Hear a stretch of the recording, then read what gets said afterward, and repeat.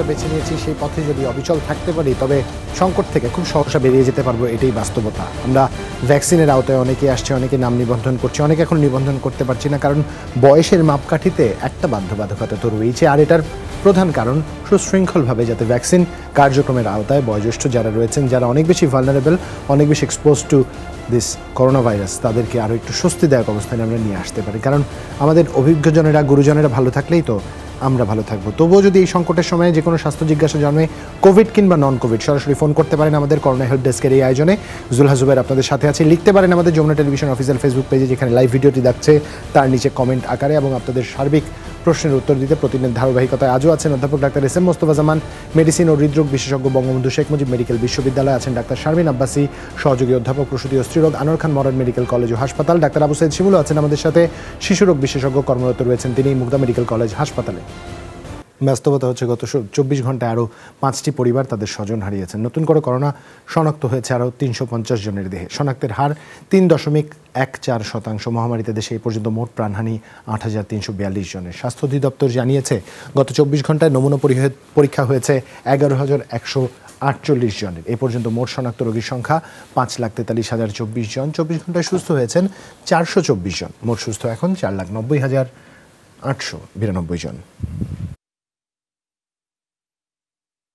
দর্শকদের প্রতি একটাই আহ্বান, যারা ফোন দিচ্ছেন, অবশ্যই টেলিভিশনের ভলিউমটি কমিয়ে ফোন দিবেন। যারা লিখছেন, একটু বিস্তারিত লিখবেন। একই প্রশ্ন বারবার রিপোস্ট করবেন না। তাতে করে অনেক প্রশ্নের, রিপিটেড প্রশ্নের ভিড়ে গুরুত্বপূর্ণ অনেক প্রশ্ন হারিয়ে যায়, যেগুলো হঠাৎ করেই দেখে উত্তর দেওয়া সম্ভব হয় না। তাই আপনাদের আন্তরিকতা, একজনকে স্বাস্থ্যসেবা পাওয়ার ক্ষেত্রে সুযোগ করে দিবে একজন অলরেডি এরই মধ্যে আমাদের ফোন দিয়েছেন, তার ফোনটি আমরা নিব। তবে দর্শকদের প্রতিদিন যে বিষয়টি বলি, আজও বলতে চাই, কাল একটা কিন্তু উদযাপন আছে। আমরা গভীর শ্রদ্ধা ভরে স্মরণ করব জাতির শ্রেষ্ঠ সন্তান যারা ভাষার জন্য প্রাণ দিয়ে গেছেন তাদের। আমরা যে বাংলা ভাষায় কথা বলি, আমাদের ভালোবাসা, গর্বের যে জায়গাটুকু, সেই বাংলার অর্জনের, ভাষা অর্জনের দিন হিসাবে আগামী দিনটি আমরা উদযাপন করব। শুধু আমরা না, বিশ্বব্যাপী কিন্তু আন্তর্জাতিক মাতৃভাষা হিসাবে যেহেতু আগামীকাল স্বীকৃতি পেয়েছে মানে একুশে ফেব্রুয়ারি স্বীকৃতি পেয়েছে, সারা বিশ্বব্যাপী এটি উদযাপিত হবে। তাই এই উদযাপনের অংশ নিতে যদি বাড়ির বাইরে কেউ যান, শ্রদ্ধা জানাতে যদি শহীদ মিনারে যাওয়া হয় অবশ্যই স্বাস্থ্যবিধি মেনে। ব্যক্তিগত পর্যায়ে দুজন এবং প্রাতিষ্ঠানিক পর্যায়ে পাঁচজনের বেশি কিন্তু শহীদ মিনারে ফুল দিয়ে শ্রদ্ধা জানাতে যাওয়া যাবে না এই বিষয়টি মাথায় রাখবেন। অলরেডি একজন ফোন দিয়েছেন এবং আমার অভিজ্ঞ ডাক্তারদের কাছ থেকে আমার একটা একটা বিষয় অবশ্য জানারও আছে তা হচ্ছে বাংলায় এখন আমরা প্রেসক্রিপশন লিখছি। এই বিষয়টাকে আপনারা কতটা গুরুত্ব সহকারে দেখেন এই বিষয়টি জানব তবে তার আগে দর্শকের ফোনটি আমরা নিতে চাই। অনেকক্ষণ ধরে অপেক্ষা আছেন তিনি। দর্শক আপনার নাম এবং বয়স বলে প্রশ্ন করুন। আসসালামু আলাইকুম জুবাইর ভাই। ওয়ালাইকুম আসসালাম। বলছিলাম বগুড়া থেকে ভালো আছেন? জি আপা আলহামদুলিল্লাহ ভালো আছে। আপনি ভালো আছেন? আমি একুশের প্রতি শ্রদ্ধা জানিয়ে একটু প্রশ্ন রাখতে চাই। আব্বাসি ম্যাডামের কাছে। আমার মেয়ের বয়স ষোলো বছর কিন্তু মিনিস্ট্রেশনে প্রথম দিন। ওর ব্যথা করে। একটা এসপিআরডিএস যদি একটা খাওয়ায় ব্যথাটা কমে যায়। প্রত্যেক মাসেই ম্যাডাম এরকম হয়। আচ্ছা। এখন এটা কি কোনো সমস্যা? আর ষোলো বছরের ওজনটা একটু আপা আমাদের জানাবেন? ওজন ওজন চল্লিশ কেজি। চল্লিশ কেজি। হ্যাঁ ওজন চল্লিশ কেজি। চার ইঞ্চি লম্বা। আচ্ছা পাঁচ ফুট চার হচ্ছে তার উচ্চতা। এবং।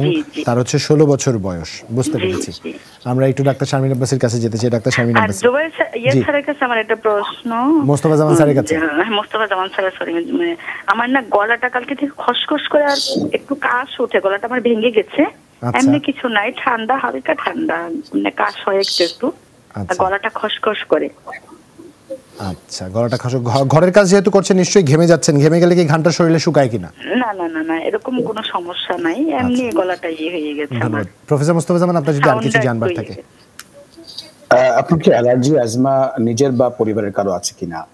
না স্যার আমার অ্যালার্জি অ্যাজমা কিছুই নেই। জি আপনাকে ধন্যবাদ। আমরা প্রথমে ডাক্তার শারমিন আব্বাসের কাছে যেতে চাই তারপর প্রফেসর মোস্তফা জামানের কাছে আসি আমার একটু জানার ছিল যে ওনার মেয়ের কয়েকটা ঝামেলা আছে কিনা। একটা হচ্ছে সাদা স্রাব যায় কিনা কিংবা ইউরিনে কোনো জি, জ্বালা পড়া আছে কিনা। হ্যাঁ, জি জি জি সাদা স্রাব যায়। আপনার থেকে ইয়ে করে প্রেসক্রিপশন করে খাওয়াইছি। সাত দিনের একটা ডোজ খাইয়েছিলাম ম্যাডাম এখন ভালো আছে। আর ব্যথাটা কখন ভালো হয়? মাসিক ভালো হলে ভালো হয় নাকি মাসিক ভালো হলে আরও বেড়ে যায়? মানে না না প্রথম দিন যখন ব্যথা করে প্রথম দিনই মিনিস্ট্রেশনের প্রথম দিনই ব্যথা করে এবং একটা যদি এসপিআরডিএস খাওয়াই দেয় ম্যাডাম একটাতেই ভালো হয়ে যায়। আচ্ছা আচ্ছা ঠিক আছে আমরা বুঝতে পেরেছি। এখানে আসলে কয়েকটি বিষয় হতে পারে। একটি যেটি হয় সেটা হচ্ছে নর্মালি আসলে অনেকের ব্যথা হয়। আমাদের কিশোরী বাচ্চা যে আমাদের সন্তান আসলে সেই ব্যথাটাকে অনেক সময় নিতে পারে না। সিম্পল কিছু ব্যথা, এটা হবেই। আমরা ওষুধ দেওয়ার কথা বলি, কিন্তু আসলে ওষুধ দেওয়ার আগে আমরা যদি কিছু নিয়ম মানি, যেমন ওকে যদি একটু রেস্ট দেই, একটু হট কম্প্রেশন গরম পানি একটা কিছুর মধ্যে, বোতলের মধ্যে নিয়ে যদি একটু চাপ দেয় যে জায়গাটি ব্যথা হয়, এগুলো যদি তাকে ইমপ্রুভ করে দেয়, তাহলে আমরা প্রেফার করব যে ওকে ওষুধ না দেওয়া।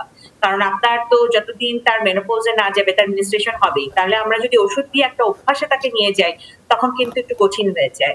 তাই আপনি আগে চেষ্টা করবেন ওকে কাউন্সেলিং ওকে বোঝানো যে মা সবারই মাসিক হয়, এরকম টুকটাক একটু ব্যথা হতে পারে। যদি সেটা সহ্য ক্ষমতার মধ্যে থাকে, তাহলে তুমি একটু সহ্য করো এবং এই সব একটু হাঁটাহাঁটি করা, ওই সময় তাকে একটু লিকুইড জাতীয় খাবার বেশি দেওয়া, তারপরে তাকে একটু হট কম্প্রেশন দেওয়া, দেখবেন ভালো হয় কিনা।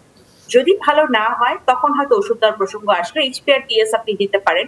কিন্তু এই ব্যথাটি কেন হচ্ছে এটি একটু খুঁজতে হবে। সাদা স্টাফ যদি দেখা যায় যে তার বারবার হচ্ছে, ভালো হচ্ছে না, তাহলে কিন্তু অনেক সময় আমরা ইনফেকশন ধরে নিই। সেখানে একটু ভালো অ্যান্টিবায়োটিক হয় ক্লিন্ডামাইসিন মেট্রোনিডাজলের এই যে কম্বিনেশন ডোজটা সেটা যদি তাকে দেওয়া যায়, সেটা তার জন্য ভালো হবে। এবং সবচেয়ে ভালো একটা চিকিৎসা হচ্ছে কুসুম গরম পানিতে লবণ মিশিয়ে টানা এক মাস দুই বেলা করে ব্যবহার। এবং তাকে একটু খাবার দাবারের দিক থেকে ইমিউনিটি বুস্ট আপ করা, যেগুলো ভিটামিন সি যুক্ত খাবার, তাকে বেশি করে দিবেন। ক্যালসিয়াম এবং ভিটামিন ডি যুক্ত যে খাবারগুলো, সেগুলো তাকে দিবেন। তাকে একবেলা করে দুধ দিবেন।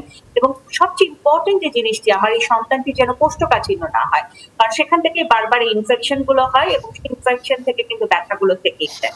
এবং যদি সুযোগ হয়, আপনার একটা লোয়ার অ্যাপটোমেন আল্ট্রাসাউন্ড করে দিবেন এবং যেটি করবেন ইউরিন রুটিন অ্যান্ড কালচার কারণ অনেক সময় আমাদের ওর বয়সী আমরা কয়েকটা রোগী পেয়েছি যাদের একটা সিম্পল হয়তো একটু অ্যাডেনেক্সাল সিস বলে ওভারের পাশে একটা ছোট্ট সিস্টার মতো হয়েছে সেটা কিন্তু ওষুধ দিয়ে চিকিৎসা আলট্রাসাউন্ডে যদি আর্লি কিছু বের হয় সেটা ওষুধ দিয়ে চিকিৎসা করা যায় সেটা কিন্তু আমরা চেষ্টা করি শেষ মুহূর্তে পর্যন্ত ওষুধের মাধ্যমেই চিকিৎসাটি এগিয়ে যেতে পারে। তো আমার কাছে মনে হয় যে এত কিছু সংমিশ্রণ করে যদি আমরা আমাদের সন্তানকে বড় করতে পারি তাকে বোঝাতে পারি অ্যাডমিনিস্ট্রেশনের ব্যথাটিকে তাকে একটু জানাতে পারি তাহলে আমার কাছে মনে হয় জন্য সহজ হবে তার জন্য আর আপনার যে প্রসঙ্গটি আমি অধ্যাপক মুস্তফাজামানকে অনুরোধ করব সে বিষয়ে উনি যুক্ত প্রফেসর মুস্তফাজামান ধন্যবাদ যিনি আসলে তার প্রশ্ন করেছেন। আমরা তার প্রতি আমাদের ভালোবাসা জানিয়ে বলছি যে তার ছোট্ট সমস্যাটি গলা খুসখুস করে সেটি সাধারণত আপার রেসপিরেটরি ট্র্যাক্ট ইনফেকশন হয়ে। থাকে একটু কারও কারও একটু অ্যাজমা অ্যালার্জি থাকতে পারে কিন্তু এটি বড় ধরনের কোনো সমস্যা নয়। এটি ফুসফুসের যেমন ঘর ঘর শব্দ হয় না সাধারণত গলায় বলে এটি খুসখুস করে। আমরা সাধারণত একটু গরম পানির ভাব নিলে আমরা দেখেছি ভালো হয়ে যায়। এটি অত্যন্ত কার্যকর গরম পানির ভাবের সাথে আপনি যেটি করতে পারেন, এখন কিন্তু মেশিন পাওয়া যায় ভ্যাপারাইজ মেশিন পাওয়া যায়, তা দিয়ে কিন্তু নিতে পারেন এবং অনেক সময় এর সাথে একটু আমরা পুদিনা পাতা দিয়ে থাকি, কেউ বলে একটু নানা ধরনের কিছু ইউক্যালিপটাস তেল দিয়ে থাকেন, এরকম নানা ধরনের কিছু পদার্থ, সরিষার তেল দেন, কালো জিরা দিয়ে থাকেন, যেটি দেন না কেন, মূল বিষয় শুধু গরম পানির ভাব নিলেই ভালো থাকবেন। আবার মাঝে মাঝে যদি খুব বেশি সমস্যা হয়, ট্যাবলেট ফেক্সোফেনাডিন বা ফেক্সো একশো বিশ মিলিগ্রাম আপনি কিছুদিন খেতে পারেন। আর তারপরে যদি সমস্যা শীতকালে একটু সমস্যা পারে একটু দেখা যায় যে মন্টে আর দশ মিলিগ্রাম এটি খেতে পারে আরেকটি কারণে হতে পারে, যারা একটু দুশ্চিন্তা করেন মানসিকভাবে একটু সবসময় অবচেতন মনে দুশ্চিন্তা থাকেন, তাদের জন্য গলার মধ্যে এরকম একটু সমস্যা হতে পারে। ঠান্ডা, ধুলোবালি এড়িয়ে চলবেন। আপনার জন্য তাহলে ভারতে এটা বড় কোনো সমস্যা নয়। আশা করছি আপনি এবং ধুলোবালির থেকে দূরে থাকবেন, যেগুলো আমরা সবসময় বলছি। জুবাইর আরেকটি বিষয় অবতারণা করেছেন। যেহেতু আমরা জানি যে একুশে ফেব্রুয়ারি আমাদের জাতীয় জীবনের অত্যন্ত তাৎপর্যময় একটি দিন। আমরা সবাই কিন্তু শ্রদ্ধাঞ্জলি নিবেদনের জন্য একুশের পাদদেশে, বিশেষ করে শহীদ মিনারের কেন্দ্রীয় শহীদ মিনারের পাদদেশে সবাই এখন প্রস্তুতি নিচ্ছে। কিছুক্ষণ পরেই হয়তো বা আমরা সবাই শ্রদ্ধাঞ্জলি জানানোর জন্য সেখানে যাবেন। তো এই সময় আমি আমাদের মেডিকেল সায়েন্সের সাথে সম্পর্কিত একটি ছোট্ট বিষয় বলছি। একসময় কিন্তু আমরা ডাক্তাররা যারা প্রেসক্রিপশন লিখতাম এবং এমনভাবে লিখতাম যে ইংরেজিতে, যেটি হয়তো অনেক সময় রোগীদের জন্য কিছুটা দুর্বদ্ধ ব্যবস্থাপত্র ছিল আমি বলব। কিন্তু আমরা কিন্তু নতুন প্রজন্মের যারা চিকিৎসক, আমরা দেখেছি যে যাতে করে রোগীরা ভালোভাবে তাদের চিকিৎসাপত্র নিজেকে বুঝে নিতে পারেন। আমরা কিন্তু যতটা সম্ভব চেষ্টা করছি যে ইংরেজি ভাষাকে যেহেতু আমরা পুরোপুরি বদলে দিতে পারব না মেডিকেল সায়েন্সেস কিন্তু তার সাথে বাংলা কিন্তু আমরা এমনভাবে লিখছি যে সকালে একটি ওষুধ খাবেন, বিকেলে রাতে একটি ওষুধ খাবেন। আমরা কিন্তু বাংলায় লিখে দিচ্ছি। অর্থাৎ আমরা চেষ্টা করছি নতুন প্রজন্মের চিকিৎসকরা কিন্তু আমরা বলছি যে ভাষার প্রতি যে শ্রদ্ধা এবং রোগীর প্রতি যে দায়বদ্ধতা সেটিকে ধারণ করে যাতে আমার প্রেসক্রিপশনটি আমার একটি রোগীর কাছে যদি সহজ হয়, দুর্বোধ্য না হয় এবং যাতে করে ভুল ওষুধ না যেতে পারে, যেমন কিছু ওষুধের নাম খুব কাছাকাছি সেটি যাতে না হয়, সেই জন্য আমরা কিন্তু সর্বোপরি ভাষা সৈনিকদের প্রতি স্মরণ করে বলছে, তাদের প্রতি শ্রদ্ধা রেখেই বলছি, নতুন প্রজন্মের চিকিৎসক আমরা যারা আছি, সবাই কিন্তু যতটা সম্ভব চেষ্টা করেন বাংলা ভাষাকে প্রাধান্য দিয়ে রোগীদের কাছে সহজভাবে প্রেসক্রিপশনকে যাতে উপহার দিতে পারে সেটি চেষ্টা করে থাকেন। আমরা এই সঙ্গে তিনজন মিলে আমরা এখানে যারা আছি মহান ভাষা সৈনিক সবার প্রতি আমাদের শ্রদ্ধা জানাচ্ছি। অসংখ্য ধন্যবাদ প্রফেসর মোস্তফা জামান। সেই শ্রদ্ধা আমাদের পক্ষ থেকেও আহ, একজন দর্শক আছেন আমাদের সাথে লাইনে অনেকক্ষণ ধরে অপেক্ষা করছেন। তার ফোনটি আমরা নিব। দর্শক আপনার নাম এবং বয়স বলে প্রশ্ন করুন। হ্যালো। জি- জি আপা শুনতে পাচ্ছি? হ্যাঁ। আমার হাজবেন্ডের এবং আমার মেয়ের দুইজনের করোনা হচ্ছে বারো তারিখে। আচ্ছা। আপা আপনি যে আমাদের ফোন দিয়েছেন কি নাম আপনার? শিল্পী। আচ্ছা। জি আপা এখন বলুন। দুজনেরই করোনা হয়েছে বারো তারিখে? হ্যাঁ বারো ফেব্রুয়ারি? বারো ফেব্রুয়ারি জ্বর উঠছে। মানে ধরা পড়ছে ধরেন পনেরো ষোলো সতেরো সতেরো তারিখে ধরা পড়ছে। আচ্ছা সতেরো মানে তারিখের দিকে। আচ্ছা। হ্যাঁ তো আচ্ছা এখন কি আমি মানে করোনা ভ্যাকসিনটা দিতে পারব? আপনারা করোনা ভ্যাকসিন দিতে পারবেন কিনা? শুধু আপনার জন্য না আপনার হাজবেন্ডের জন্য জানতে চাইছেন? না ওরা তো দিতে পারবে না এটা তো জানি এটা মানে আপনি আপনি দিতে পারবেন কিনা তাই তো? আমি দেখতে আপনার বয়স কত? আমার বয়স fifty two sorry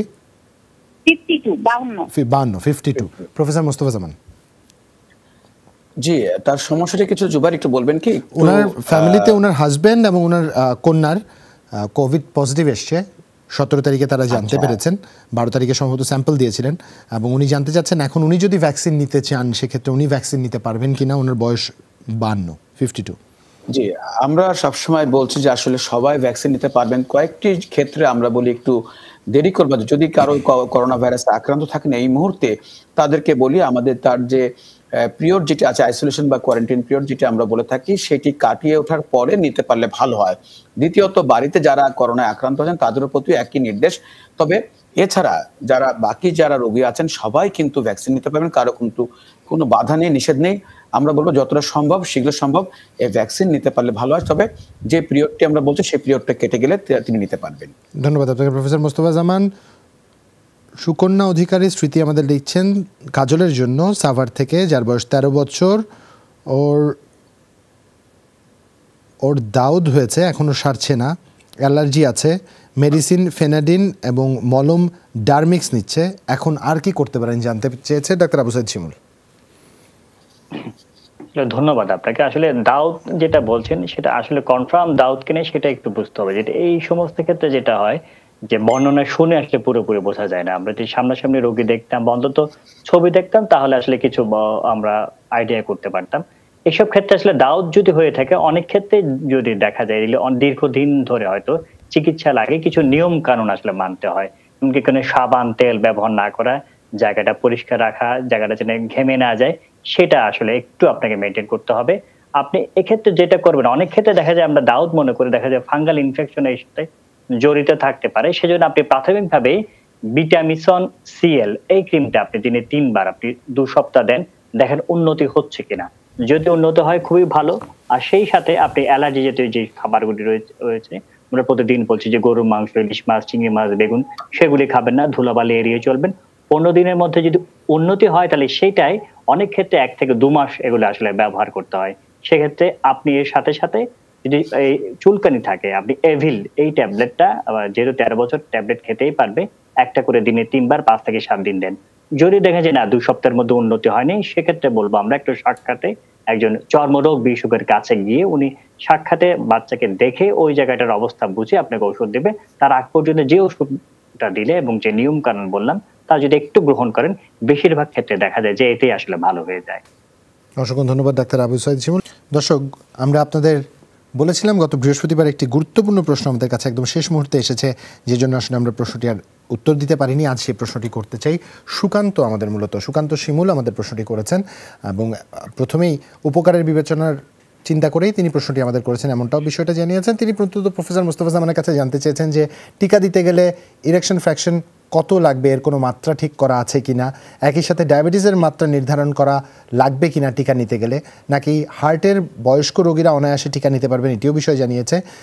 এসব উত্তর তিনি নিজে জানেন, কিন্তু অনুরোধ করেছেন প্রফেসর মোস্তফা জামানকে। তিনি যেন গণমাধ্যমে বিষয়টি একটু সবাইকে বলেন, তার মুখ থেকে শুনলে হয়তো অনেকেই উপকৃত হবেন। একই সাথে রোগীদের তিনিও বলেছেন তিনিও রোগীদের কাউন্সিলিং করেন কিন্তু এইভাবে তথ্য দিলে হয়তো রোগীদের বেশি কাজে পৌঁছবে। এবং আপনাকে এটাও জানিয়েছেন প্রফেসর মোস্তফা জামান তিনি আপনাকে শিক্ষকের আসনে বসিয়েছেন এবং একই সাথে আমাদের বাদবাকি যে দুজন ডাক্তার আছেন তাদেরকেও শ্রদ্ধা জানিয়েছেন। তারাও প্রচণ্ড প্রিয় তার এই বিষয়টি আমাদের বলিয়েছেন এবং যমুনা টেলিভিশনকে বাড়তি করে কৃতজ্ঞতা জানিয়েছেন এমন অসাধারণ উপস্থাপনার জন্য অনুষ্ঠানের উপস্থাপনার জন্য। আহ, ধন্য- ধন্যবাদ জানাচ্ছি সুকান্ত শিমল। খুব চমৎকার ভাবে তিনি পুরো বিষয়টিকে তুলে ধরেছেন এবং তার সর্বশেষ যে বিষয়টি তিনি উল্লেখ করেছেন সেটি দিয়ে আসলে বলছি যে শ্রীমঙ্গলের টিকা সংকট দেখা দিয়েছিল। এটি সত্য, আমরাও অবশ্যই খোঁজ নিয়েছিলাম, এটি হতে পারে, তবে আশা করছি যে সরকার সেটি ব্যবস্থা গ্রহণ করে সেটি তড়িৎ ব্যবস্থা নিয়ে ঠিক করে দিতেন সঙ্গে তার যে উদ্বেগ, উৎকণ্ঠা এবং যে বিষয়টি তিনি চাচ্ছেন প্রচার মাধ্যমে, গণমাধ্যমে সবাইকে জানানোর জন্য, আমি মনে করি তিনি অত্যন্ত সুন্দরভাবে উপস্থাপন করেছেন যে আসলে হার্টের যাদের কার্যক্ষমতা ইজেকশন ফ্র্যাকশন বলে থাকি, কত হলে নিতে পারবেন বা পারবেন না। এটি আমরা বলে থাকি কি, যেমন ধরুন আমার এখন ওয়ার্ডে একটি খুব কম বয়সে একটি রোগী ভর্তি আছে, যার বয়স আমরা বলব যে বাইশ বা তেইশ, কিন্তু তার ইজেকশন ফ্র্যাকশন মাত্র ষোলো। তার আমরা একটি সিআরটিডি অর্থাৎ আধুনিক একটি চিকিৎসা পেসমেকারের মাধ্যমে তার হার্টের কার্যক্ষমতা বাড়ানোর একটি চিকিৎসা পদ্ধতি গ্রহণ করতে যাচ্ছি। কারণ তার হার্ট এত দুর্বল, তার এই বয়সে কিন্তু আমরা বলব যে আমরা কিন্তু যদি, যদি- সম্ভব হতো তাকে টিকা দেওয়ার জন্য বলতাম। কারণ আমরা তার এই মুহূর্তে প্রস্তুতি নিচ্ছি কীভাবে তার হার্টের কার্যক্ষমতা বাড়ানো যায়। তার বয়স কম হলেও হার্ট কিন্তু দুর্বল, কিন্তু তিনি এই বয়সে নিতে পারবেন। আবার হার্টের অনেকের বয়স হচ্ছে অনেক বেশি তাদের কিন্তু আমরা বলব হার্টের কার্যক্ষমতা, যদি রোগীকে দেখে যদি ভালো থাকে, ওষুধ খেয়ে যদি স্বাভাবিক থাকে, একেবারে বিছানায় শয্যাশায়ী না হন যে কোনো ইজেকশন ফ্র্যাকশনে তিনি এই টিকা গ্রহণ করতে পারবেন। তবে ডায়াবেটিস নিয়ে কিন্তু নানা ধরনের বিভ্রান্তি আছে। বিভিন্ন জায়গায় অনেকেই বলছেন যে অনিয়ন্ত্রিত ডায়াবেটিস রোগীরা টিকা নিতে পারবেন না। আমি বলব এই কথাটি কিন্তু ঠিক নয়। এই বিষয়টি মিডিয়াতে এবং সব জায়গাতে, এমনকি স্বাস্থ্য অধিদপ্তরও ব্যাখ্যা দেওয়া উচিত কারা টিকা নিতে পারবেন ডায়াবেটিস রোগীরা, কারা পারবেন না? অনিয়ন্ত্রিত বলতে শব্দটি কিন্তু আপেক্ষিক একটি এবং এক ধরনের কিছুটা বিভ্রান্তি ছড়াচ্ছে। আমরা বলি যদি বলেন যে গুড গ্লাইসেমিক কন্ট্রোল বলতে যেটি বোঝা হয়, বাংলাদেশের শতকরা সত্তর থেকে আশি ভাগ রোগী কিন্তু গুড গ্লাইসেমিক কন্ট্রোলের মধ্যে নেই। তাই বলে তারা টিকা নেবেন না? অবশ্যই টিকা নেবেন। সুকান্ত শিমুল, এই বিষয়টি আমার মনে হয় জানতে চেয়েছেন। আমরা বলব, সব রোগীরাই ডায়াবেটিসকে টিকা নিতে পারবেন। শুধুমাত্র যখন ডায়াবেটিস অনেক অনেক বেশি থাকবেন।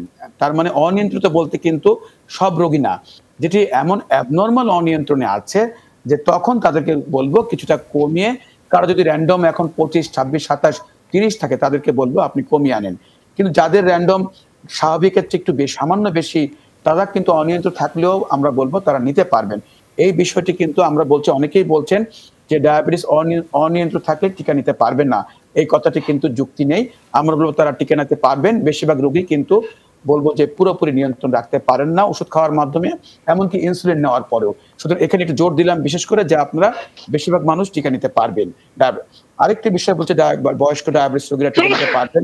আমি সবকিছু বলে বলব, যারা দুজন আঠারো বছরের নিচে যেহেতু কোনো ট্রায়াল নেই, গর্ভাবস্থায় যেহেতু কোনো ট্রায়াল নেই, এই গ্রুপ বাদে যারা হাসপাতালে ভর্তি আছেন, তারা নিতে পারবেন না। যারা বিছানায় শয্যাশায়ী আছেন। তারা বাদে সবাই টিকা নিতে পারবেন। এ বিষয়ে কোনো বিভ্রান্তির কোনো সুযোগ নেই। শুধুমাত্র হাসপাতালে এই মুহূর্তে যারা স্টেন্টিং করেছেন, তাদেরকে এখন নিয়েন না, কদিন পরে নিবেন। করোনা যারা আক্রান্ত আছেন, এখন নিয়েন না। কদিন পরে নিতে পারবেন সবাই টিকা নিতে পারবেন। অসংখ্য ধন্যবাদ প্রফেসর মোস্তফা জামান। ডাক্তার শারমিন আব্বাসী আপনার কাছে একজন প্রশ্ন করেছেন আতিকুর রহমানের মতো তার বোনের জন্য প্রশ্ন করেছেন। তার বড় বোন সতেরো তারিখে জোলাডেক্স ইঞ্জেকশন নিয়েছেন আপনার কাছ থেকে আজ করোনা ভ্যাকসিন নিয়েছেন তাতে কি কোনো সমস্যা হবে কিনা? কন্ট্রাডিক্ট করবার কোনো সুযোগ আছে কিনা? আসবার কোনো সমস্যা নেই জোলাডেক্স ইনজেকশন একটা জিনিস আর করোনার ভ্যাকসিন আরেকটা জিনিস কেউ কাউকে প্রভাবিত করবে না।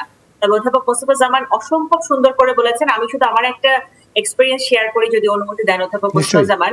আমার একজন রোগী ফার্স্ট ডোজটি নেওয়ার পর এখন এসে বলেছেন তার প্রেগনেন্সি টেস্ট পজিটিভ মানে আনএক্সপেক্টেড প্রেগনেন্সি অনেকের হয়তো অনেকে বোঝে না এর মধ্যে হয়ে যায়। তো উনি এসে তখন আমাকে বলছেন আমি কি তাহলে প্রেগনেন্সিটি টার্মিনেট করব কিনা? তখন আমরা একটু চিন্তার মধ্যে পড়ে গেলাম যেখানে তো টার্মিনেটের কোনো প্রশ্নই আসে না। যেহেতু ভ্যাকসিন নিয়েছেন প্রেগনেন্সিও হয়ে গেছে এটা ইট শুড বি কন্টিনিউ এবং আমরা জানি যে একটা আঠারো বিশ সপ্তাহে অ্যানোমালি স্ক্যান করে আপনার যদি অত্যধিক ভয় লাগে ওই অ্যানোমালি স্ক্যান করলে আপনি মোটামুটি ধরা পড়বে যে কোনো কারণে আপনার প্রবলেম মনে হচ্ছে কিনা। কিন্তু করোনার ভ্যাকসিন নেওয়ার মধ্যে যদি কারোর প্রেগনেন্সি হয়ে যায়, এটাকে আসলে টার্মিনেট করার কোনো মানে হয় না বা এই চিন্তাটাও আসলে মাথায় আনার কোনো প্রয়োজন আছে বলে।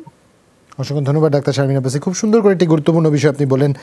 হাবিবুল্লাহ সবুজ আসলে বিষয়টি আমাদের লিখছেন, বাচ্চার বয়স তিন মাস মাথায় হামের মতো ফোড়া হয়ে ফেটে খুশকির মতো হয়ে যায় এর সমাধান জানতে চেয়েছেন। আমি একটু দুঃখিত প্রফেসর মোস্তফা জামানের কাছে যেতে চাই। ডাক্তার শারমিন আব্বাসির স্টেটমেন্টের কোনো ফিডব্যাক আপনি দিতে চান কিনা? আমার জিজ্ঞেস করা দরকার ছিল। এখানে আমি ছোট্ট একটু বিষয় বলি। নিশ্চয়ই। আব্বাসি যেটি বলেছেন সেটি শতকরা একশো ভাগ কারেক্ট তবে এক্ষেত্রে একটি কাউন্সিলিং এর প্রয়োজন আছে যে মা বাবা যিনি আছেন যে তাদের প্রতি অর্থাৎ যে এই যে আমরা তথ্য বই পুস্তকে এক কথা আছে কিন্তু ট্রায়াল যেহেতু হয়নি কিন্তু একটি কাউন্সিলিং এর ব্যাপার আছে যে তারা যে সন্তান নেবেন, অনেকে আছে যে কাউন্সিলিং এর মাধ্যমে তারা যদি রাজি থাকেন, তারা কন্টিনিউ করবেন। আর তারা যদি ভয় পান, যাতে করে চিকিৎসকের প্রতি কোনো ধরনের পরবর্তীতে কোনো এই নিয়ে কোনো বিভ্রান্তিকর তথ্য দিতে না পারেন।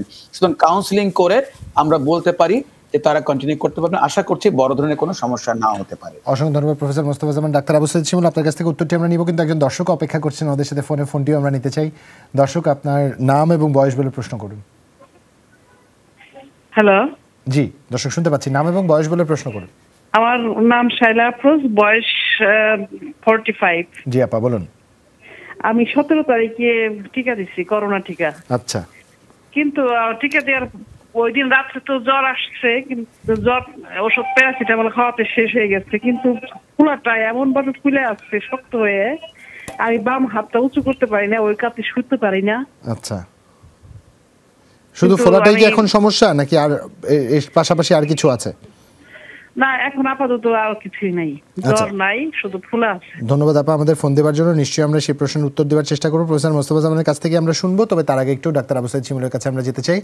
একটি প্রশ্ন ছিল ডাক্তার আবু সাইদ শিমুল। হ্যাঁ ধন্যবাদ হাবিবুল্লাহ সবুজকে। তার আগে আমি একটু সংযোজন করতে চাই অধ্যাপক। মুস্তফা জাবেন এবং শারমিন আব্বাসি খুব সুন্দর করে বলেছেন। আপনি আপনাদের জ্ঞাতার্থে একটু জানাতে চাই যখন ট্রায়াল হয়েছিল আসলে মডার্ন এবং ফাইজারের তখন কিন্তু ট্রায়ালের মধ্যে অনেক মহিলা কিন্তু প্রেগনেন্ট হয়ে গিয়েছিল ডকুমেন্টেড এবং কারোরই কিন্তু সমস্যা হয়নি।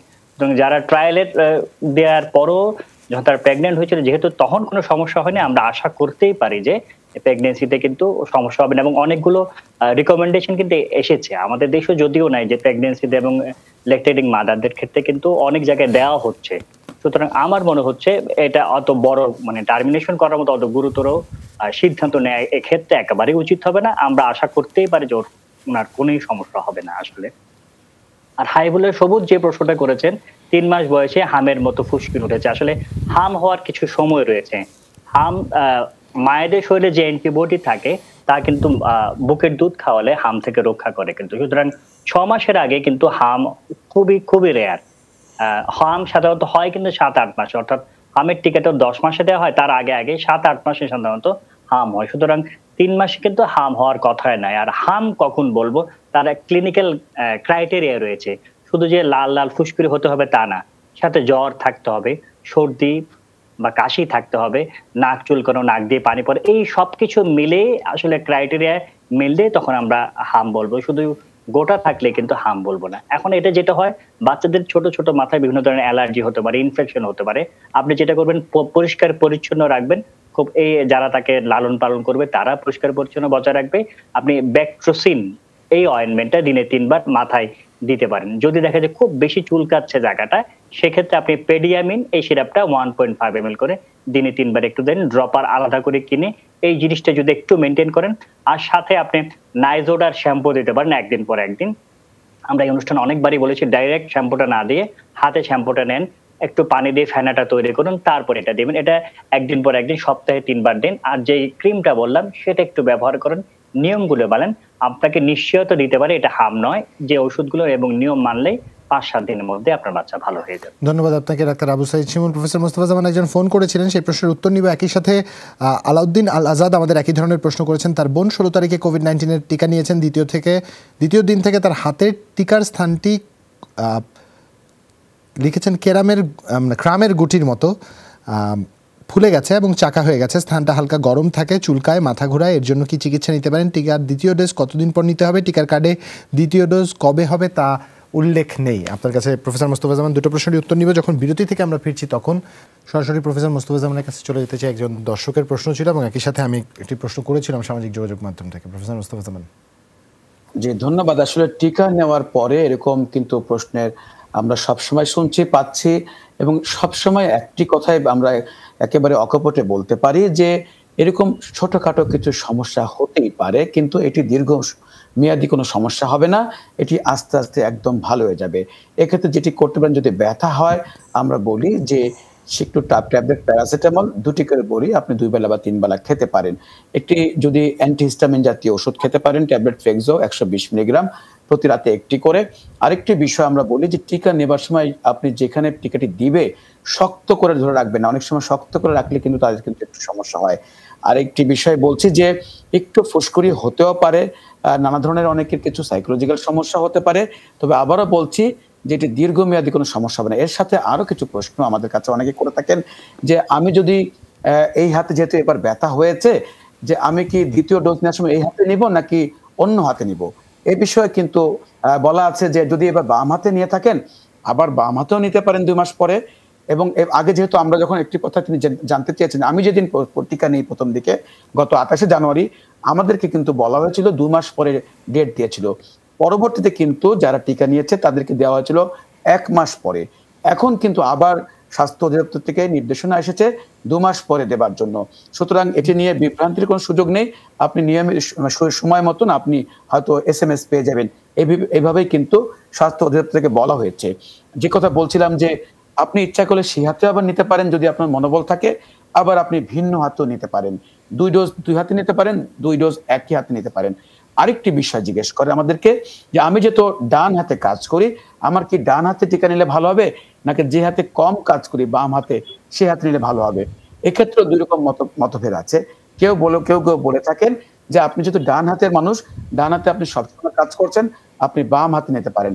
আবার কোনো কোনো জায়গায় লেখা আছে, যেহেতু আপনার ডান হাতে রক্ত সঞ্চালন বেশি হচ্ছে, আপনি ডান হাতে কাজ করছেন, ডান হাতে নিতে পারেন, ভয়ের কোনো কারণ নেই। এমনকি দুবারই কিন্তু আপনি ডান হাতে নিতে পারেন। সুতরাং এই নিয়ে আসলে বড় ধরনের কোনো বিভ্রান্তির সুযোগ নেই। এটি খুব ছোটখাটো সমস্যা। এ নিয়ে বিভ্রান্তির কোনো সুযোগ নেই। আমরা যেমন পেস মেকার করি, ডান দিকেও করি, বাম দিকেও করি। কেউ বলে, আমি স্যার, আমি ডান হাতের মানুষ। আমার পেস মেকার করে ডান হাতে সমস্যা হবে কিনা? আমরা বলি, না, কোনো সমস্যা হবে না। আপনি ডান দিকেও করতে পারেন।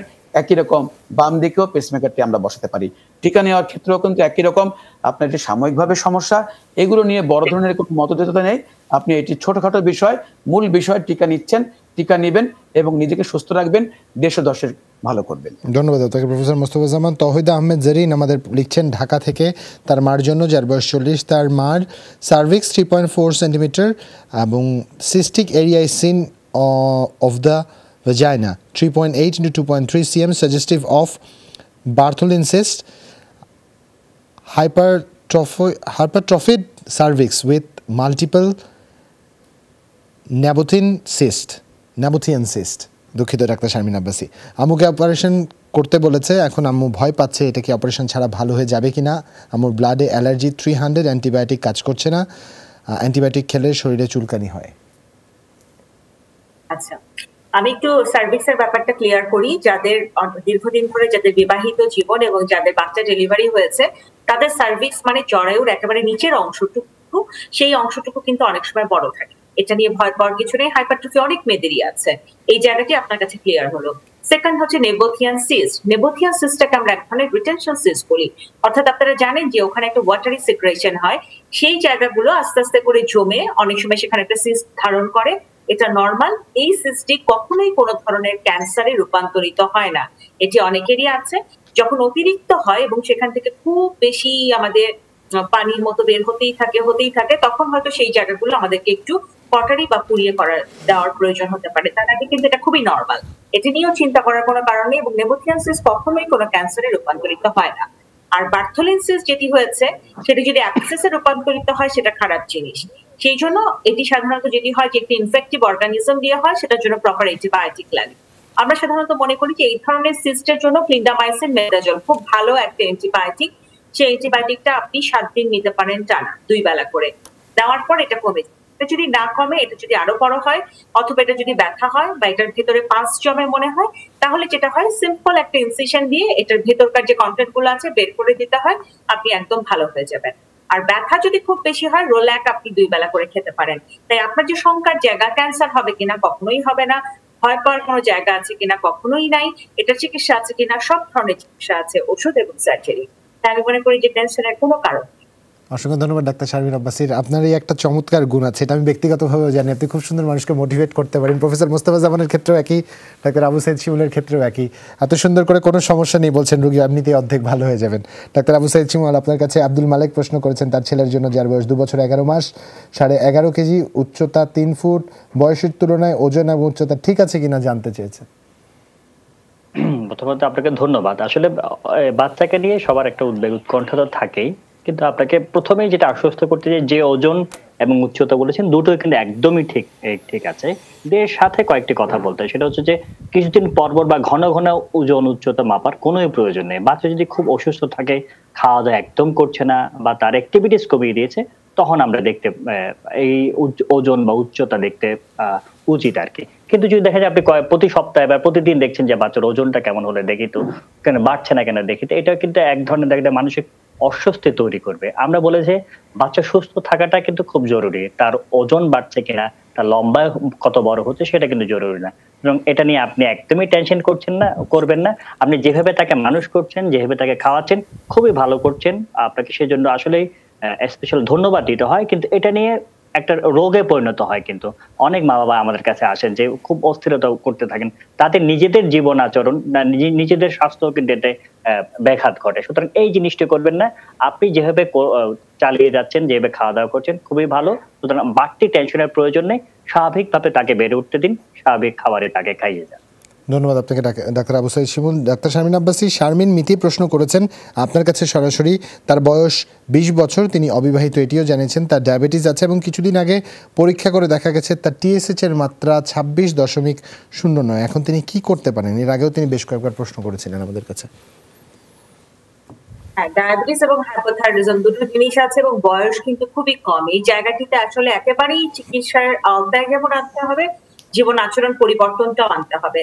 ডায়াবেটিসের জন্য আপনারা জানেন যে ডিসিপ্লিন মানতে হবে, তাকে ওষুধ দিয়ে চিকিৎসা করতে হবে এবং সবচেয়ে বড় কথা তো ইয়াং এজে হয়েছে, তার লেভেলটা সবসময় আমাদেরকে কন্ট্রোলে রাখতে হবে, খাবারের আগে পাঁচ, খাবারের পরে সাত এখন এটি হতে পারে যে তার হাঁটা চলা খাদ্যাভ্যাস পরিবর্তন এবং মেটফর্মিন জাতীয় ওষুধ। সেটিও যদি না হয়, তখন হয়তো তাকে অন্য কোনো ওষুধ, সাথে ইনসুলিনে সুইচ ওভার করতে হতে পারে। ওনার জন্য আসলে সবচেয়ে ভালো হবে। উনি যদি ঢাকায় থাকেন বার্ডেম হাসপাতাল অথবা বিএসএমএম এন্ড্রোকাইন বিভাগ, এই জায়গাগুলোর আওতাধীন থাকা অথবা প্রাইভেট চেম্বারেও এই ধরনের জায়গায় যারা আসলে এন্ড্রোকাইনের এই কম্বাইন্ড বিষয়টা নিয়ে আসলে কাজ করেন, তাদের সাথে ট্যাগ হয়ে যাওয়াটা, কারণ এটি দীর্ঘ সময়ের একটা বিষয়। আজকে চিকিৎসা নিলাম, কালকে ভালো হয়ে যাব, তা কিন্তু নয়। আর টিএসএইচ লেভেল অনেক বেশি তার পেছনে কোনো কাহিনী আছে কিনা দেখতে হবে। যেমন তার অ্যান্টিবডি থাইরয়েডের কোনো প্রবলেম আছে কিনা, তার এফটি ফোর এর কি অবস্থা, কোনো কারণে থাইরয়েড গ্ল্যান্ড ফুলে গেছে কিনা, এই জিনিসগুলো দেখে আসলে চিকিৎসা দেওয়ার প্রয়োজন। এবং তার কিন্তু বেশ হাই ডোজের চিকিৎসা লাগবে। আমি যতটুকু মনে করি সেটি হচ্ছে যে ইনিশিয়ালি একটা ট্যাবলেট করে এক সপ্তাহ, এরপর দুইটা করে এক সপ্তাহ, তারপরে তিনটা করে হয়তো এক মাসের মতো কন্টিনিউ করে আবার টিএসএইচ লেভেলটা করতে হবে। তাই আমার অনুরোধ থাকবে ওনার কাছে যে এখানে কিন্তু কিছু আপনাদের একটু বিষয় জানতে হবে, সেটা হচ্ছে ডায়াবেটিক কিছু এডুকেশনেরও ব্যাপার থাকে তো ইয়াং এজে যাদের ডায়াবেটিস ধরা পড়ে।